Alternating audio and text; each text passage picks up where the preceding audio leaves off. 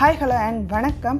இது நம்ம channel voice Tamil இன்னைக்கு நம்ம லூசியானால நடந்த வாட்டர் ஸ்போர்ட்ஸ் பத்தி தாங்க பார்க்க போறோம். லூசியானா வந்து யூஎஸ்ல இருக்கிற தென்கிழக்கு மாநிலம் அது கல்ஃப் ஆஃப் மெக்சிகோல அமைஞ்சிருக்கு. அங்க ஆகஸ்ட் இருபது ரெண்டாயிரத்தி இருபதுல ஆறு வாட்டர் ஸ்போர்ட்ஸ் ஒரே நேரத்துல அங்க உள்ள கடல்ல உருவானது வந்து ரொம்பவே பிரமிப்பை ஏற்படுத்தினுச்சு. வாட்டர் ஸ்போர்ட்ஸ் அப்படின்னா என்னன்னு பாத்தீங்கன்னா கடல் நீரை ஆவியா மேகம் வந்து இழுக்கிற மாதிரி இருக்கும். அதுதான் வாட்டர் ஸ்போர்ட்ஸ் சொல்றாங்க என்ஓஏஏ அதாவது national oceanic and atmospheric administration வந்து வாட்டர் ஸ்போர்ட்ஸை ரெண்டா பிரிக்கலாம் அப்படின்னு சொல்கிறாங்க ஒன்னு ஃபேர் வெதர் வாட்டர் ஸ்பவுட் இன்னொன்னு tornadic waterspout fair weather waterspout அப்படிங்கிறது வந்து அப்பர் டைரக்ஷன்ல அதாவது கடல் மட்டத்தில இருந்து வானத்துக்கு இழுக்கப்படுற மாதிரி இருக்கும். அந்த புயல் வந்து ரொம்ப கம்மியா தான் மூவ் ஆகும் அண்ட் பாதிப்பை ஏற்படுத்தும். டொர்னாடிக் வாட்டர் ஸ்பாட் அப்படிங்கிறது டொர்னாடோஸ் சூறாவளி அப்படின்னு நம்ம சொல்லுவோம்ல அதுதாங்க. பயங்கரமான கடுமையான புயல் மழை இடின்னு வானிலையை அப்படியே மாத்திருங்க. அது எப்படி இருக்கும் அப்படின்னு பாத்தீங்கன்னா சூறாவளிங்கிறது வானத்துல இருந்து வாட்டர் சர்ஃபேஸ்க்கு